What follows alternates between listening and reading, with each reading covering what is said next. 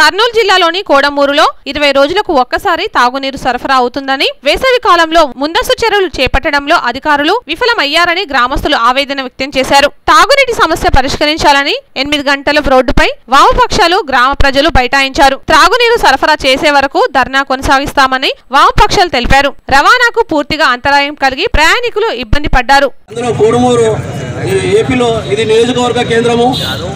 ఇక్కడ పెద్ద పెద్ద నాయకులు మన జిల్లా నుంచే పోవడం జరిగింది కానీ ఎవరు దీన్ని పరిష్కారం చేయలేదు. ఇక్కడ పార్టీలు కాదు ముఖ్యము. గ్రామంలో ఉన్న ప్రజలందరూ పెద్దలందరూ అందరూ ఇదే విధంగా పైప్ లైన్ వచ్చే విధంగా అందరు కలిసి పోరాడాలని కోరుకుంటూ ఈ అవకాశం ఇచ్చిన అందరికీ ధన్యవాదాలు తెలియజేస్తున్నాను.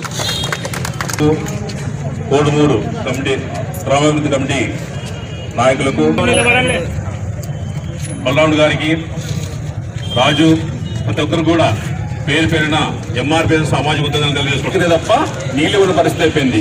గత కొన్ని నెలల నుంచి చూస్తున్నాము.